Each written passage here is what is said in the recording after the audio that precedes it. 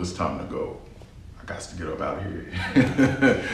All right, what's up, everybody? It's your boy J Rod, and welcome to the channel. So, in case you haven't seen the title of this video, your boy's in Cali, Colombia. Yes, Colombia South America. That is where I'm at right now.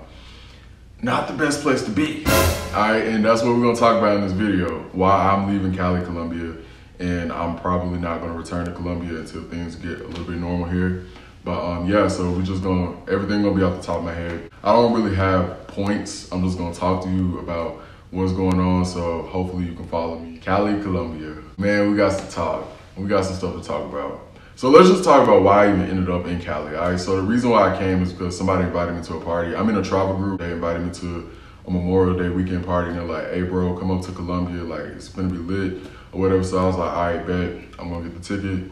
So that's how I ended up in Cali. Now, I did hear about some of the stuff that was going on with the protest, and but I did not know it was countrywide. I really thought it was going to be like just in Medellin or just like certain bigger cities. I didn't realize that it was throughout the entire Colombia. Like everybody in Colombia is going through some stuff right now, like with the government. So um, yeah, that's what we're going to kind of talk about today. Just my personal experience, the things I've been seeing here, and why I just feel like you know it's better for me to just come back when things get a little bit normal. All right, so first impressions coming into Cali. Um, I was actually kind of nervous. I'm not gonna lie, like one of my homeboys, I got another homeboy. Um, he had, he had texted me when I got on the plane. He was like, bro, don't go to Cali right now. And I'm like, well, it's kind of too late for that. like I'm already on the plane, you know? So he was just telling me like, nah, like it's kind of dangerous and stuff like that. And then um, the day before that, I saw some stuff that was going on in Medellin. So some a guy who follows me, he was posting some stuff on Instagram, and it was like people rioting and looting and doing all that stuff.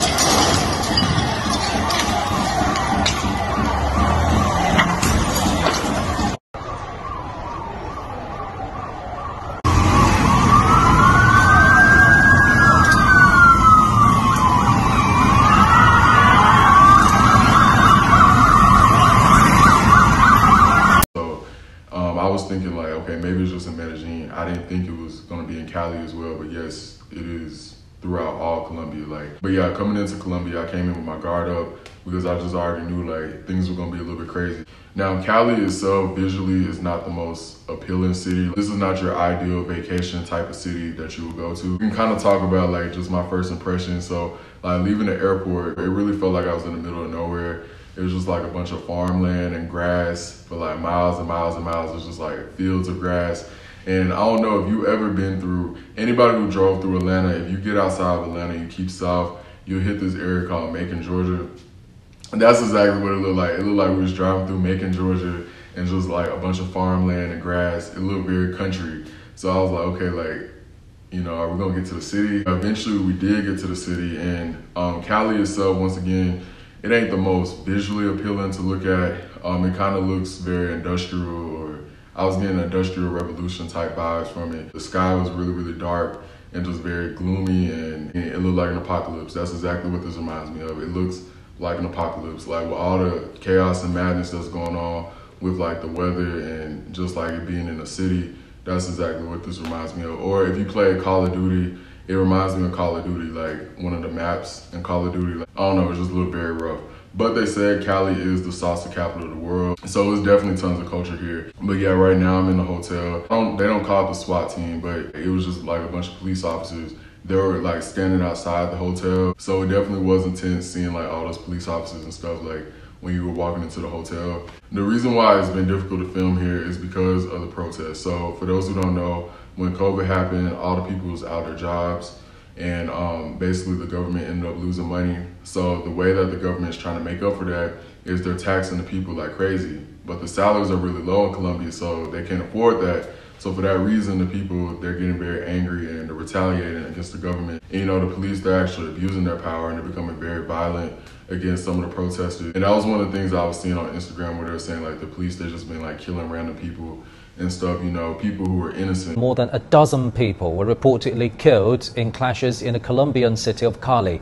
UN Human Rights Chief Michelle Bachelet cited reports from Cali that armed individuals, including an off duty police officer, had fired on demonstrators, journalists, and passers by. Widespread protests that began late last month and have also affected other Colombian cities. They started with opposition to a now withdrawn tax reform proposal, but they've since broadened to demand a basic income, more opportunities for young people. So um, that's pretty much to kind of set the tone of like what's going on in Colombia, or specifically Cali, Colombia right now. Like it's very tense because of all the stuff that's going on with the government and the people. Like for example, yesterday I went to the grocery store. Okay, so as I'm walking to the grocery store, it's like all these people, everyone's just like walking really fast, like zoom, zoom, zoom, zoom. Like people just trying to get to their destination and leave. Like nobody's really like mingling and talking. Like it's just kind of everybody's moving very quickly. Got inside the grocery store, it wasn't a, wasn't an issue, but like on the streets, like nah, like it, everybody's like moving very fast. So I didn't even want to like pull out my camera or try to record anything because like this is this is why the protests are really dangerous. Okay, so it kind of puts you in the mind of last year. You know, last summer in the states when people was you know rioting and looting and stuff like that. See, the difference between Colombia and the United States is in the United States, you kind of typically knew where the protests were going to be. Like they had like a specific location in your city, and you kind of knew when it was going to go down. Colombia is not really like that. Like it's just very sporadic. It's just it can be at any given moment, so you don't really know what's gonna happen on what block or what corner you go down. Like just some stuff can go down. So that's what makes it a little bit more dangerous than the protests that were going on in the United States.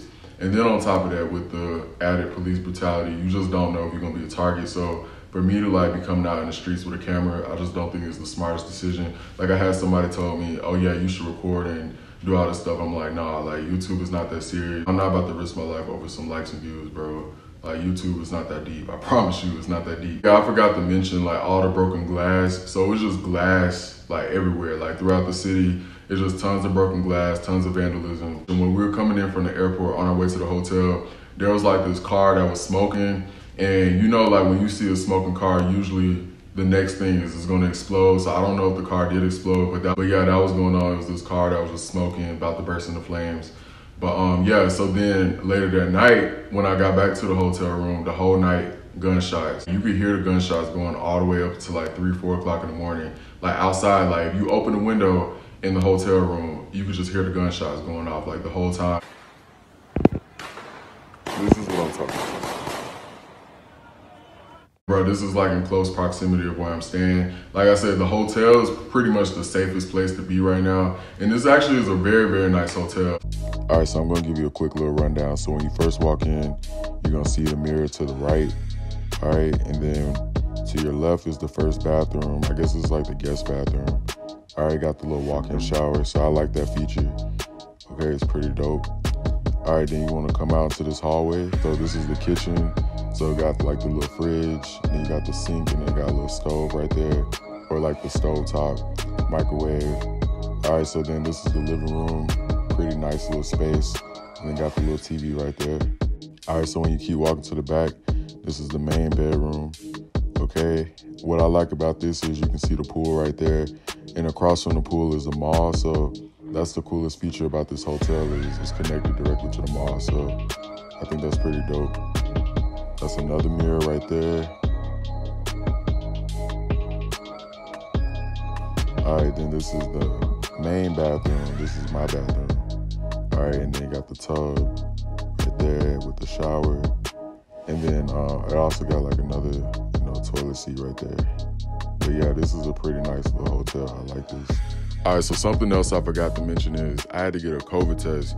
So I told the hotel that I was going out to the city to go get one, but they actually informed me not to go because it was too dangerous. They were saying, nah, like, don't go out to the city because of the riots and the protests.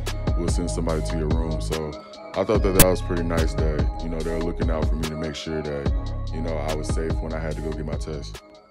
So it is a pretty big suite and the people here are very, very professional and very helpful. So, you know, so I don't got nothing negative to say about the hotel. One thing I'll say that I like about this hotel is it's connected to the mall. So I don't really have to go out into the city if I need to go get some food or go to the ATM or whatever.